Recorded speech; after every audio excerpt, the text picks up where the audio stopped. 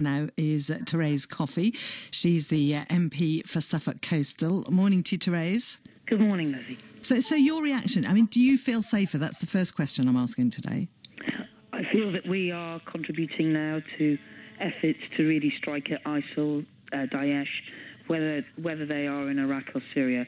I think that's for the benefit of the United Kingdom, but it's certainly for the benefit in those of people in those countries too.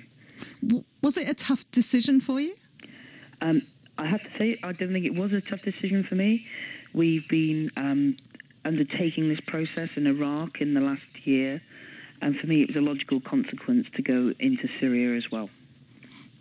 It's obviously a really important, uh, a historical decision as well. I mean, do you feel the weight of that? Yes, it is uh, one of the most serious things that a member of parliament will have to do. Um, it's not the first time that's happened to me. Uh, I guess we've had three or four votes now on military action. Uh, it's a sign of the times we're in. Um, we also make other difficult decisions on a daily basis, whether that's about spending or whether something people have done legally one day, they're a criminal the next for doing the same thing. So uh, we have to make these judgments. But um, it is uh, the critical time for the House of Commons when it chooses to deploy um, our surface, uh, service uh, men and women into uh, into action abroad. What what was the mood like in the House of Commons last night? Well, um, I think what was most telling when the actual final result came through was complete silence. Um, unlike uh, a couple of years ago when there was jeering or cheering when the, the government lost its vote uh, not to go into Syria in the first uh, occasion, uh, the Prime Minister asked. So, um, very much a heavy uh, uh, hand of history today, extending this military action. But I think there were some very powerful speeches on both sides. Margaret Beckett and Hilary Benn stand out for me um, on Labour. So, uh, uh, but nevertheless, people felt they were doing the right thing on both, whether they voted for or against. Um, but uh, people should be able to hold their head up high um, rather than being accused of one thing or the other. That's difficult, isn't it? Because there have been things being said for those who haven't supported this, and, and I heard this morning talk of, of bullying and so on. Well, there's been considerable attempts, I think, to intimidate on social media. I suppose I'm a little bit more experienced, so I don't worry about these things.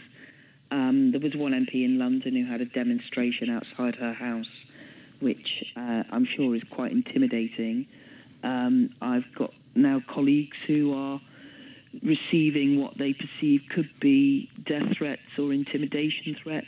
Um, but that's the role we undertake, and um, it's unpleasant when people do these things. There's no excuse for it, but we have to be resolute. You, ha- you haven't had threats yourself? No, I just get accused of all sorts of different things, uh, but that's fine. Um, people will vent and be angry. I'm perfectly happy with the vote that I did last night, and I would do it again.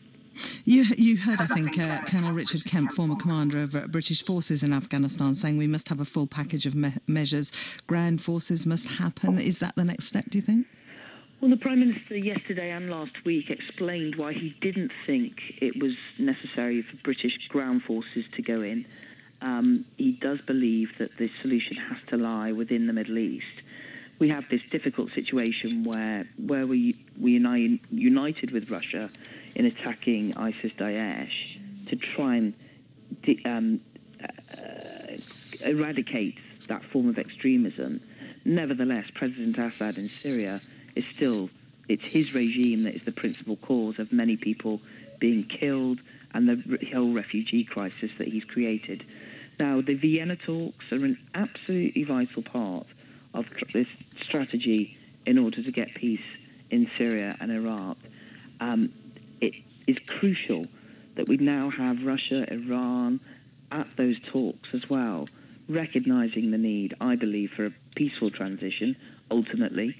But um, as was articulated very well yesterday, just like happened in World War II, um, we have to go and defeat this extremism um, and bring about peace uh, in, in due course. Of course, our humanitarian efforts will still be uh, running in parallel we're the largest donor in Europe, second largest donor in the world, and it matters that we continue to help those people who are suffering. Thank you ever such a lot for taking the time. I know you've got to dash off now yes, as well. Thank but you very much. Therese Coffey, much appreciated. And in fact, we'll get